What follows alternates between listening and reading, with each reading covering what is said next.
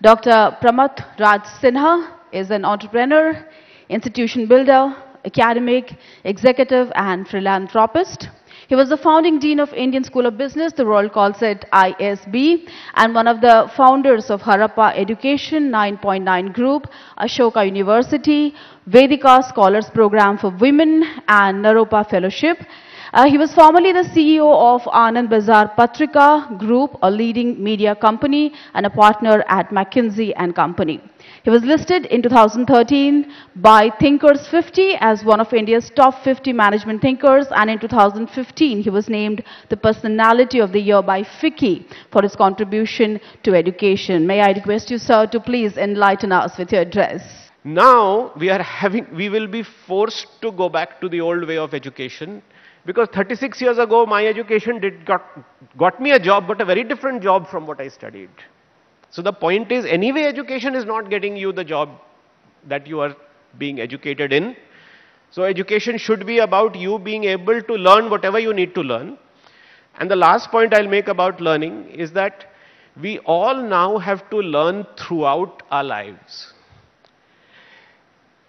अगर हम सीखते नहीं रहेंगे then you will just not be able to keep up with the times in fact all of us are sitting here there are eminent educationist here people from different fields we are all learning all the time otherwise we will not be relevant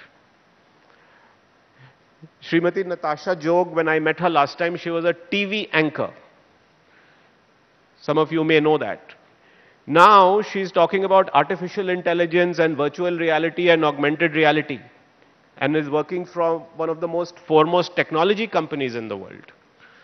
She has had to learn to be able to do this.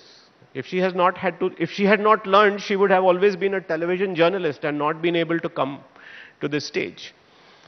So all of us have to constantly keep learning and therefore, it's the love for learning that we have to inculcate in our children and in our young people. Without that, as a country, as a society, as a world, we are in deep trouble.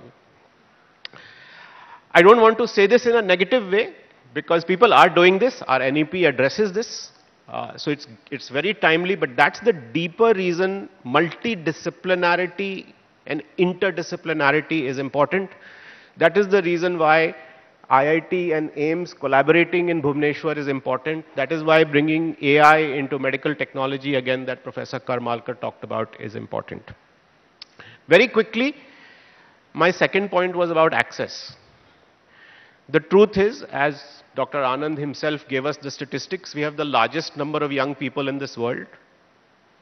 Yet, only one in three, less than that, actually 30% is the GER, I think, these days, Less than one in three gets to go to college or get higher education. This is a massive problem that we should all be worried about.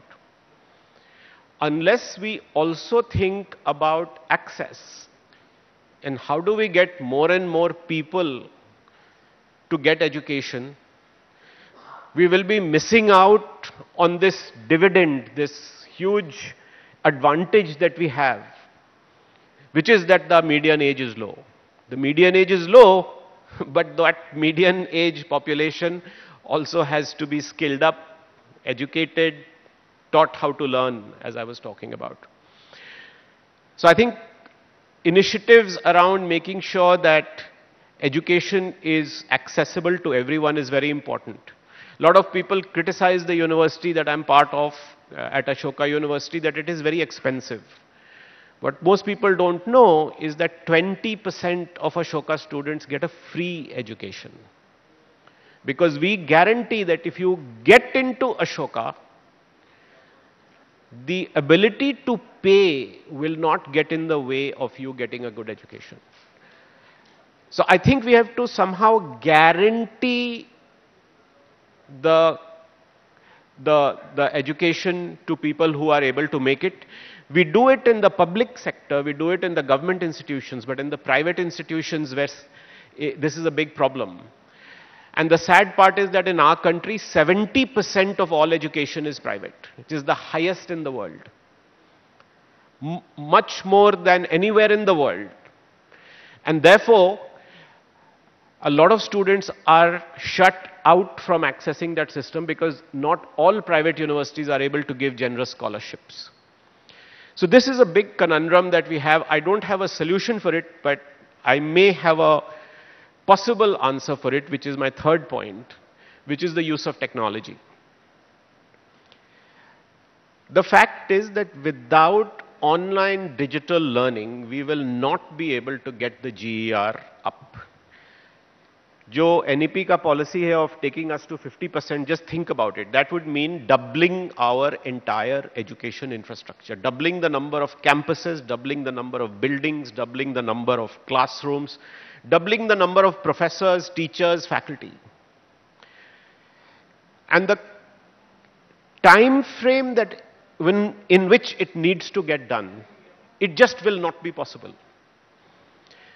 So just as to open bank accounts, we now have a digital payment system which completely leapfrogged the, the need to go to a bank branch and open a bank account and so on.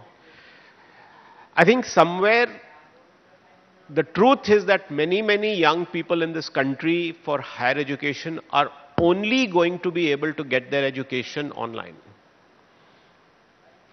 There is nothing wrong with that, I must tell you. Again, Natasha mentioned the importance of social learning. Uh, at, our, at our company, Harappa, where we actually teach uh, some of these, online, these skills online, we have found that you can actually bring elements of social learning even in the virtual environment. And even if it is not as good as physical learning, the truth is alternative kya hai? People are not even getting the physical learning. So at least they are getting something. And they are getting something which is reasonably high quality. So there's an initiative now by the Ministry of Education to build a digital university. This is a new version of IGNOU. IGNOU was trying to do that in the offline, in-person world. If you wait and watch, India's digital university will become the very largest digital university in the world very quickly. Because it will provide quality education and it will provide quality education to everyone. And this is where the point I was making about affordability will come in because that education will also be inexpensive and high quality at the same time. Swayam has tried to do that. Some of you have seen that even now you can even get an IIT degree online. BITS Pilani has been providing degrees online for a long time. And those online degrees are actually not that expensive and they are very high quality. And lots and lots of students in India are now just going to that rather than going to a brick and mortar physical campus. So online and technology and digital learning are going to play a very important role. It will bring in the element of love for learning because now you can study what you want. You can study it whenever you want. So some of the classes that we are offering online at Ashoka, we have a 16-year-old in the class and a 72-year-old in the class. Same class with somebody who's 16 years old and in school with somebody who's 72 years old. So you can study whenever you want. You can study what you want. And you can study it in an affordable manner. And that is where some of all of this is going to come together. I think India as a country has the opportunity to innovate in education more than anywhere else in the world because our need is much greater. West के लोग तो already medium as के पार चले गए उनका तो time खत्म हो गया बट हमारे जो यंग पीपल हैं they have to learn learn quickly and learn in this new way and therefore a lot of education entrepreneurship that is happening in this country will create the innovation and i'm a firm believer in that again i hope some of these ideas are helpful to some of the people in the audience particularly the young people who have the biggest responsibility of taking these ideas forward Again, thank you very much for inviting me here today, uh, and I wish you the very best for the rest of this conference. Thank you.